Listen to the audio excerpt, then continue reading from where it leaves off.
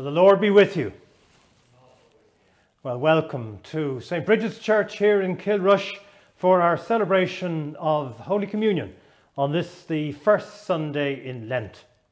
This is also my first Sunday worshipping here in Kilrush, and it's a beautiful church, as you can see.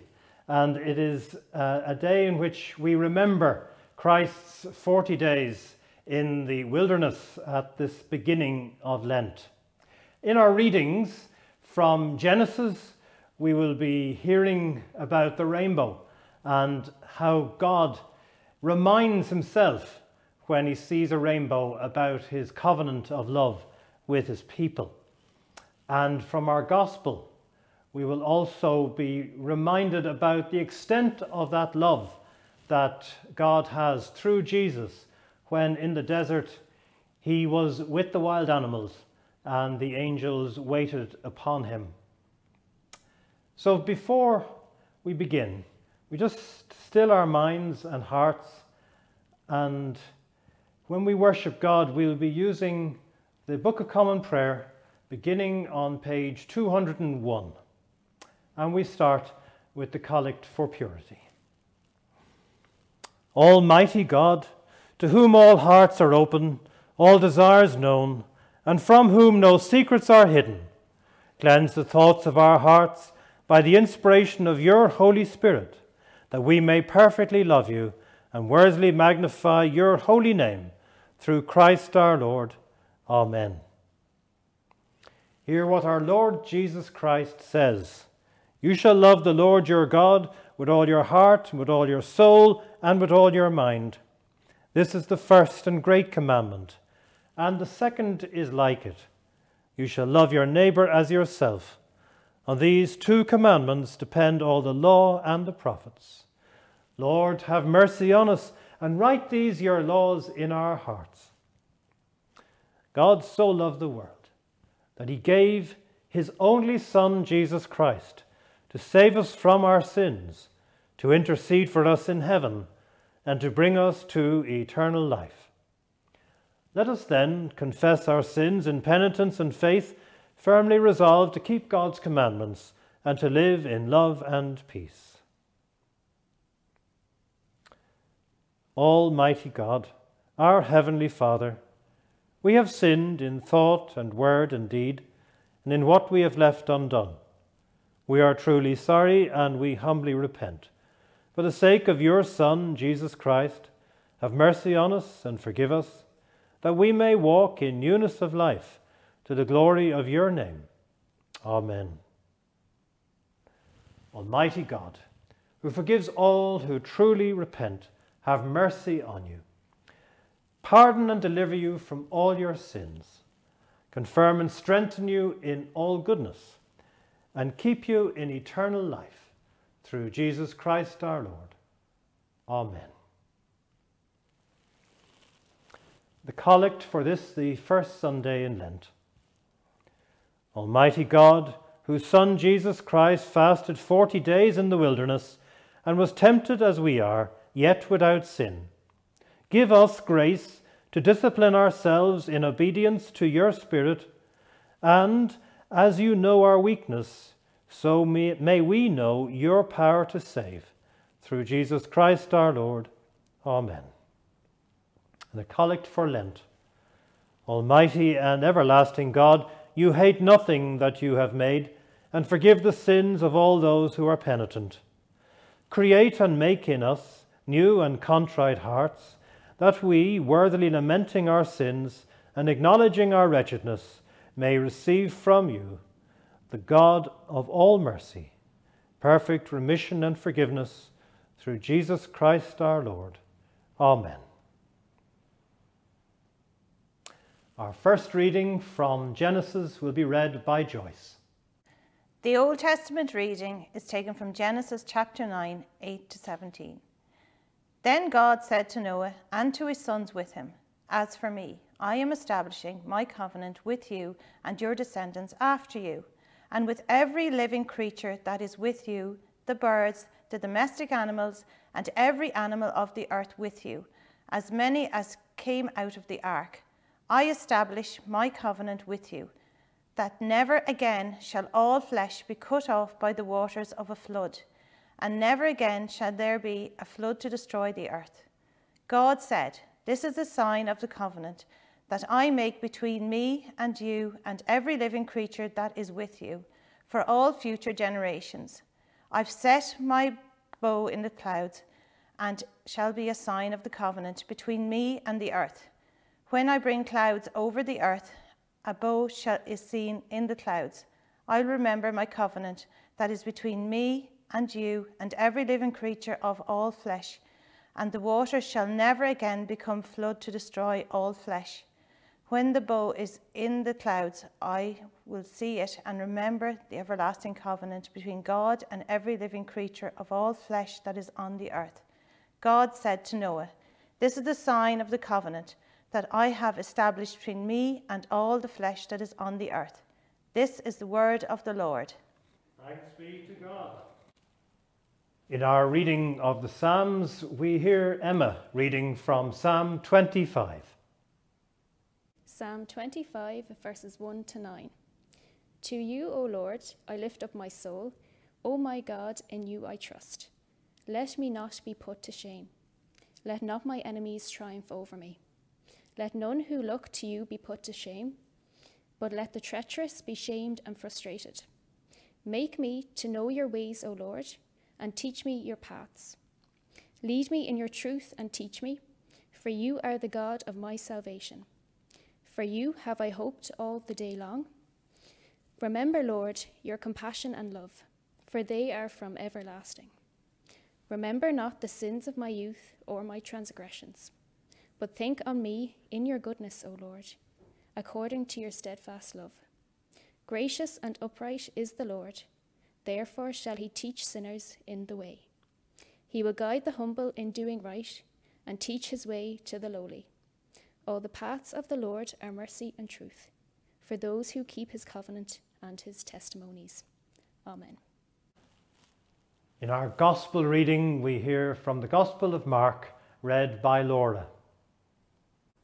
Hear the Gospel of our Saviour Christ according to Mark, chapter 1, beginning at verse 9. In those days, Jesus came from Nazareth of Galilee and was baptized by John in the Jordan. And was just as he was coming out of the water, he saw the heavens torn apart, and the Spirit descending like a dove on him. And a voice came from heaven You are my Son, the beloved, with you I am well pleased. And the Spirit immediately drove him out into the wilderness. He was in the wilderness for forty days, tempted by Satan, and he was with the wild beasts, and the angels awaited on him. Now, after John was arrested, Jesus came to Galilee, proclaiming the good news of God, and saying, The time is fulfilled, and the kingdom of God has come to near. Repent, and believing the good news. This is the gospel of the Lord. Thanks be to God. May the words of my mouth and the meditation of all our hearts be now and forever acceptable to you, O Lord, our strength and our Redeemer. Amen. Well, I wonder how many times you have been reminded to wash your hands at this stage, or to wear a face mask, or to keep your social distance. All of these things are important reminders during this pandemic. And all of us need, need to be reminded of things, to do things from time to time. And indeed, I would say, please feel free, free to remind me about things which I said I would do. Sometimes one forgets and has to be reminded. And I wonder how do you remind yourself of things? Some people use diaries. Um, other people have uh, notes and they use a fridge magnet to attach the note onto the fridge. Uh, other people, and I never quite got this, uh, but I was told that it was common at one point to tie a knot in a handkerchief. Um, I'm not sure if I'd remember why I tied the knot in the handkerchief, but that was a custom I, I understand. And then nowadays, I suppose, uh, there's the, the text alert or there's the, the phone to put in an alert, and that reminds you that you have something to do, uh, a tablet to take, or uh, an appointment to keep, or whatever it may be. And then, of course, there's the old trusty writing on the hand. Uh, that's a, one way of uh, reminding yourself. My mother always used to dissuade me from doing that, telling me that I might get blood poisoning. Not quite sure if there's a medical background for that, but I've stopped writing on my hand anyway, um, now that I have a mobile phone. So, reminding ourselves seems a, a very human thing.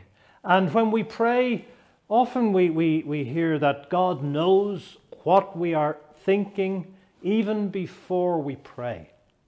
And that's a very reassuring thought. But in the reading from Genesis today, we have an example of God needing to be reminded because he says in Genesis that he put the rainbow in the sky to remind him about the covenant of love that he has for us and for every living creature. We heard it read, and it said in verse 16 of chapter 9 When the rainbow is in the clouds, I will see it and remember the everlasting covenant between God and every living creature of all flesh that is on the earth. So it seems that God also wants to be reminded about his love of us and his love of every living creature in the whole earth. And that's a lot of love. That's love for you and me, love for every dog and cat, uh, love for every lamb and every every damselfly, every dragonfly. Um, that's an incredible amount of love.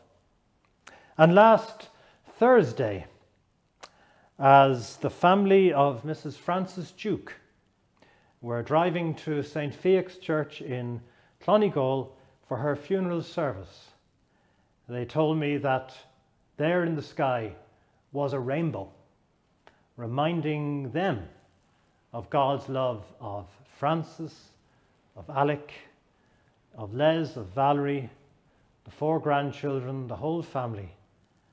And that love was visible in that rainbow. And God also inspires us to be personal reminders. And I think our prayers are, in a way, personal reminders to God about God's promise and just a reassurance to ourselves that God really, really understands and hears us and knows what we are thinking. Because we had it in our psalm. And when Emma ran, read from Psalm 25, we heard these words Remember, Lord, your compassion and love, for they are from everlasting. Remember not the sins of my youth or my transgressions, but think on me in your goodness, O Lord, according to your steadfast love. So it seems sometimes we need reminding also of God's steadfast love, that it extends much further than ourselves. It extends further than the Church of Ireland. It extends further than all of those who follow Jesus Christ. In fact, it encompasses all cultures, all species, and it is for us to understand God very difficult, but it is love for every living creature. And as we read in Genesis about that rainbow, we also read in Mark, in our gospel, where Laura read for us these words that Jesus was in the wilderness for 40 days, tempted by Satan, and he was with the wild beasts, and the angels waited on him. And Jesus, it seems to me, is just demonstrating just how comfortable God is with every creature. We sometimes read in the gospel that Jesus was with his friends. Here we say Jesus was with the wild beasts. So, just as the rainbow is a reminder for God, let Lent be a reminder for us to believe in the good news, as Laura read in the Gospel believe in the good news. That's what Jesus asks us to do, to take Jesus at his word. God loves us so much that he would make any sacrifice to bring us back to him. And unlike most things that seem too good to be true, this divine love is true. It's all around us. We can see it in, in nature, in the love that people have for one another. That is God's love, and it is also in the rainbow. So we just ask one another to accept God's love. Give thanks for that love in you and in every living creature, and especially give thanks for that love every time you see a rainbow. Amen. And so we continue our celebration of Holy Communion on page 205 of the Book of Common Prayer. We believe in one God, the Father, the Almighty, maker of heaven and earth, of all that is seen and unseen. We believe in one Lord Jesus Christ, the only Son of God, eternally begotten of the Father, God from God, light from light, true God from true God begotten, not made, of one being with the Father. Through him all things were made. For us and for our salvation he came down from heaven, was incarnate by the Holy Spirit of the Virgin Mary, and was made man. For our sake he was crucified under Pontius Pilate. He suffered death and was buried. On the third day he rose again in accordance with the Scriptures. He ascended into heaven and is seated at the right hand of the Father. He will come again in glory to judge the living and the dead, and his kingdom will have no end. We believe in the Holy Spirit, the Lord, the giver of life, who proceeds from the Father and the Son, who with the Father and the Son is worshipped and glorified, who has spoken through the prophets. We believe in the one holy, Catholic, and Apostolic Church.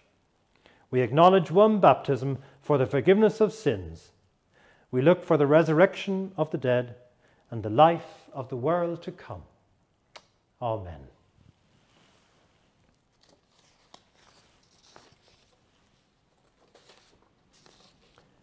Let us pray. Almighty and ever living God, hear the prayers which we offer in faith and love for peace and for your love and salvation to be known throughout this world, which you so wonderfully created. Lord, in your mercy, hear our prayer. For the one holy Catholic and Apostolic Church, and for the unity of all Christian people, for all who serve and lead in your church, for bishops, priests, deacons, readers, church wardens, all members of our select vestry, and especially here this parish of St. Brigid in Kilrush. For all your people, especially for pupils, parents, and teachers adapting to homeschooling and remote learning, and for all who are growing in the faith of Christ, that they may, in word and action, pass it on to the next generation. Lord, in your mercy, hear our prayer for all who live and work in these communities around Bunclody, Clonegall, Kildavin, and Kilrush. Especially praying for all who, whatever the weather, are engaged in farming, outdoor work, and lambing, especially at this time.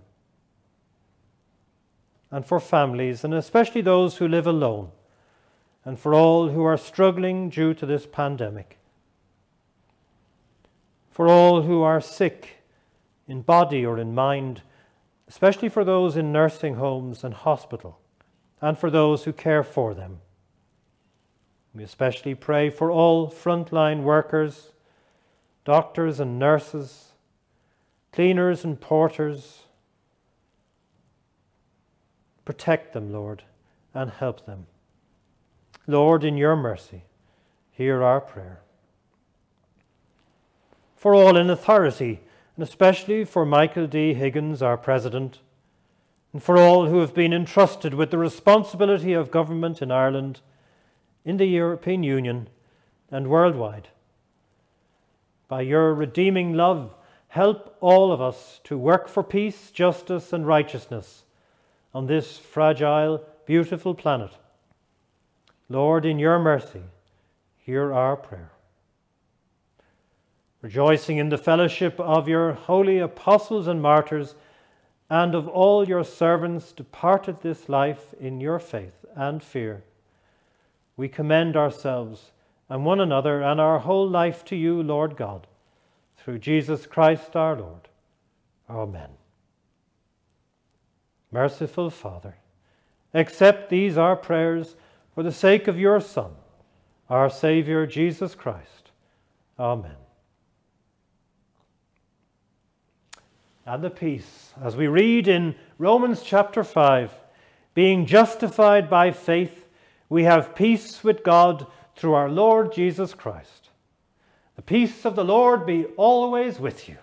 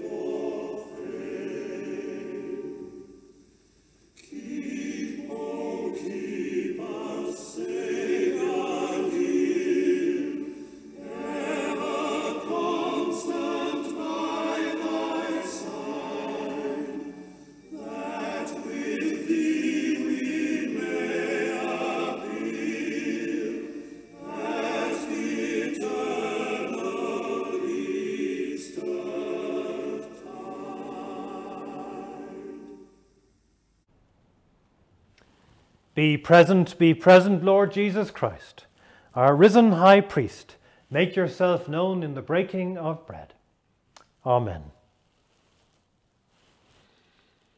Lord, yours is the greatness and the power and the glory and the victory and the majesty, for all things come from you, and of your own we give you.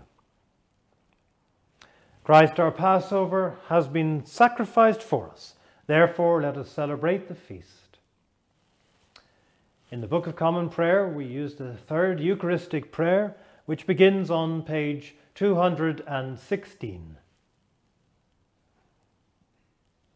The Lord is here. His Spirit is with us. Lift up your hearts. We lift them to the Lord. Let us give thanks to the Lord our God. It is right to give our thanks and praise.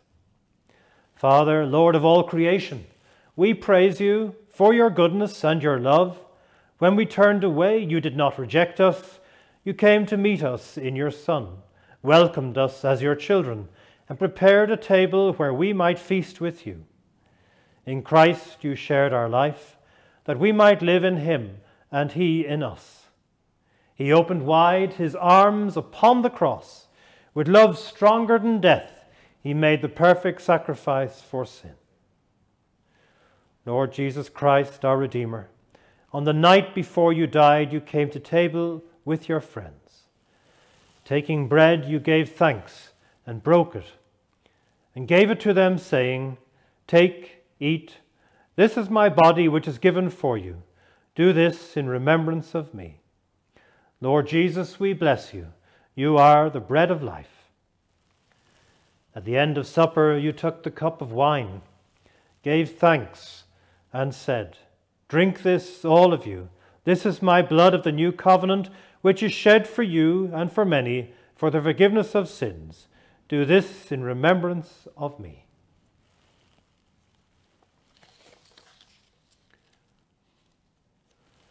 Lord Jesus, we bless you. You are the true vine. Praise to you, Lord Jesus Christ. Dying, you destroyed our death.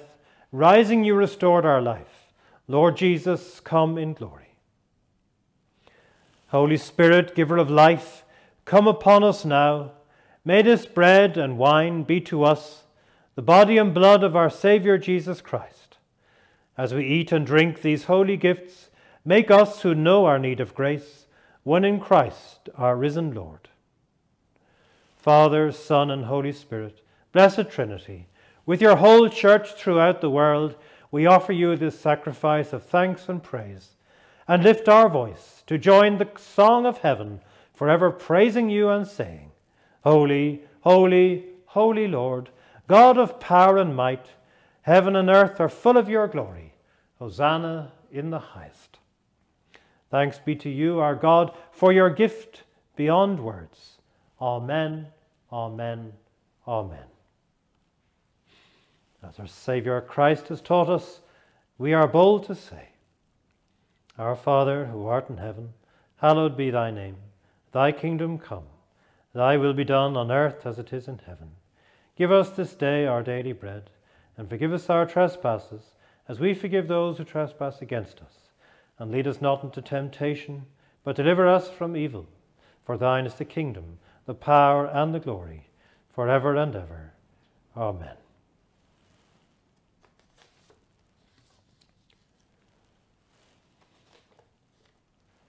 The bread which we break is a sharing in the body of Christ. We, being many, are one body, for we all share in the one bread. Jesus Christ is the Lamb of God, who has taken away the sins of the world. Happy are those who are called to his supper. Lord, I am not worthy to receive you, but only say the word, and I shall be healed.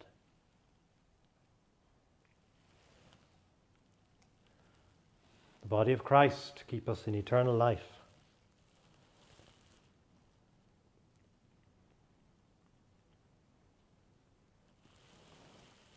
the blood of Christ keep us in eternal life.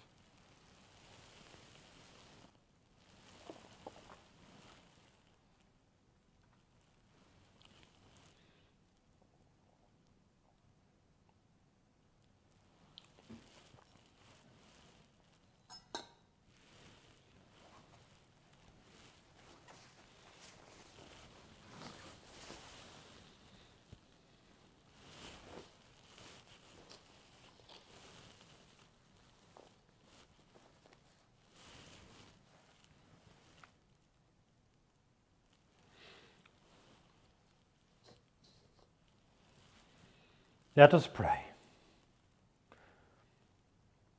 Lord God, you renew us with the living bread from heaven.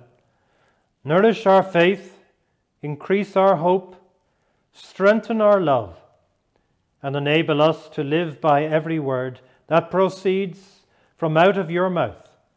Through Jesus Christ our Lord. Amen. And the peace of God which passes all understanding, keep your heart and mind in the knowledge and love of God and of His Son, Jesus Christ our Lord. And the blessing of God Almighty, Father, Son, and Holy Spirit be with you and remain with you and all those you hold in your heart from this day forth and forevermore. Amen. Let us go in peace to love and serve the Lord. In the name of Christ. Amen.